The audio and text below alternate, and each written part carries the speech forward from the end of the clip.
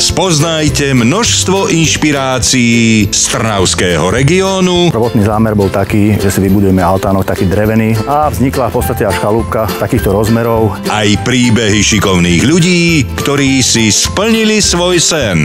To sú také pamätné výkresy, sú asi 15 rokov staré. Na chalupe v nedeľu o 16.55 na Jojke.